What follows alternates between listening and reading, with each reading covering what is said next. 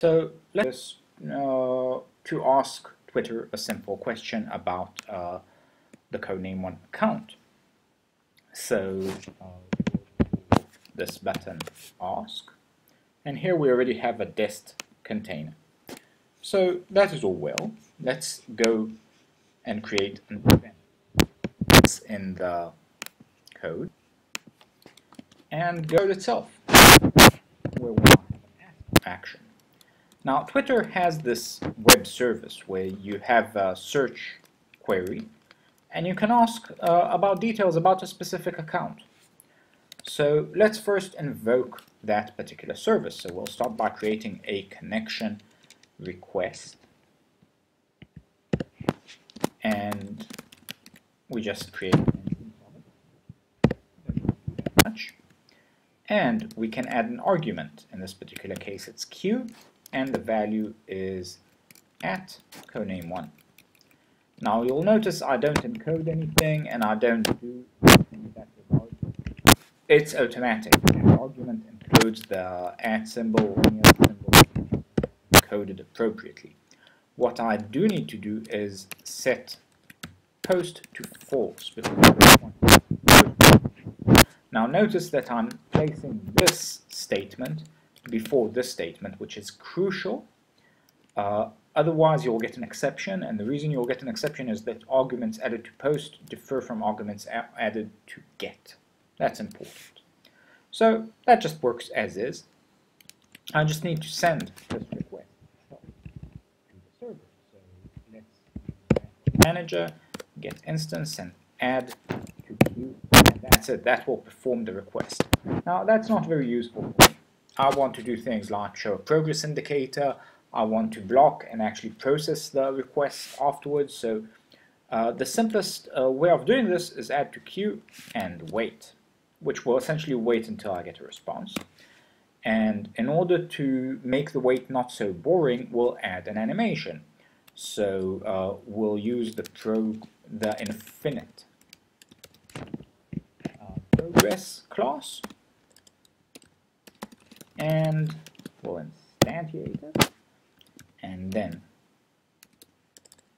show blocking dialog that just essentially shows the dialog now the cool thing is I can just do set display on give it the dialog so what this does is this will show a progress dialog that never ends uh, looping.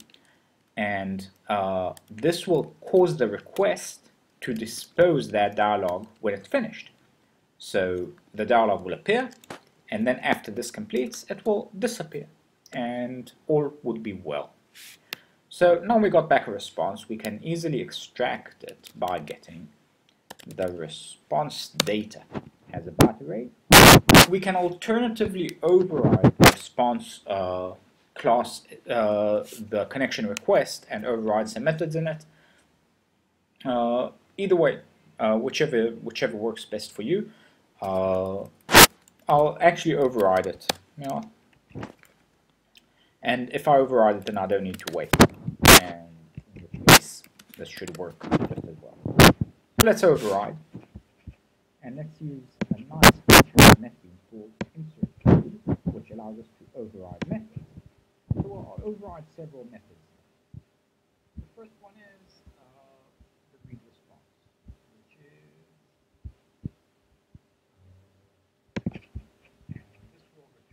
actual response of the data. We can read the headers, we can read everything. And the second is the post response, which is very important too. Now, why do we need to override both? Post response happens after the read response method, and it happens on the EDT. So if we want to update things, we, we need to do it here. The read response doesn't happen on the EDT. So we can do uh, everything. We can read and process and parse and everything right so let's do the actual JSON parsing here. So we'll use uh, the JSON parser and just uh, parse.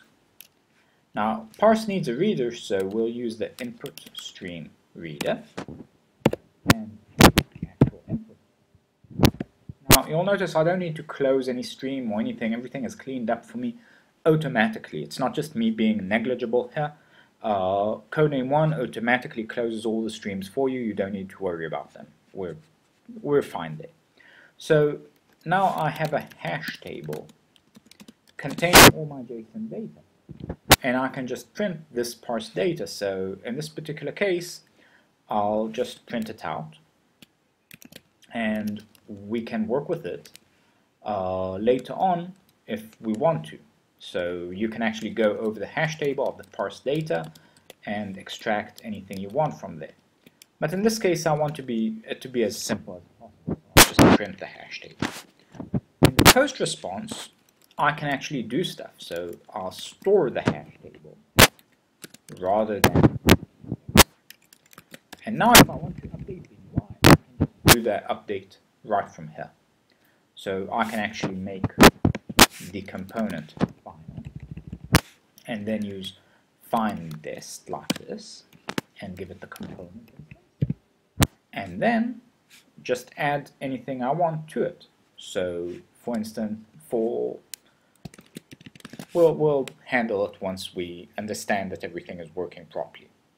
One thing here, and that's kind of important, it's to set the URL which also needs to be relatively high up. So once I've done that, let's try that and see how it's working on the simulator.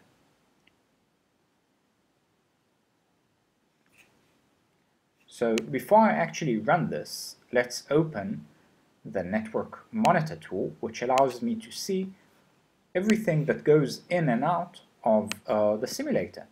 So let's ask Twitter. And as you can see, a request was sent. There was a progress here. And there was a request. Not very interesting. That's just a request. And there should be, and there's a response right here. So you see the request, request data, the headers that were sent, and the response data, which you can see right here. This is actually the JSON returned by Twitter and their response headers. Here you can actually see the JSON after the parsing. So let's say I want to just extract one entry from here and uh, see how it goes. So the first entry is really uh, a vector of sort uh, containing all uh, hash table sorry containing all sorts of data so let's do h get and uh, extract, uh, say, results per page.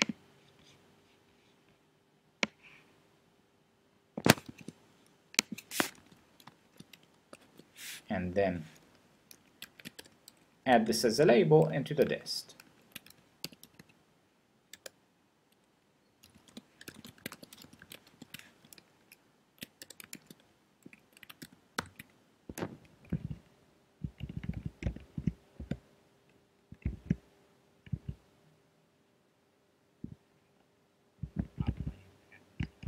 Obviously. Or do a better yet, like that. So now let's revalidate after that.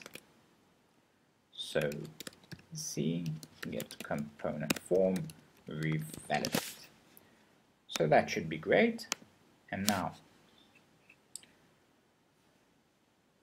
this is no longer necessary. And as you can see, we get the 15 that we had in the results previously. So I hope this taught you a bit about uh, how to work with JSON and web services. It's very similar with XML and the XML parser as well. You can pretty easily uh, send requests to a web service and get a response back. So thanks for watching and I hope you enjoyed this tutorial.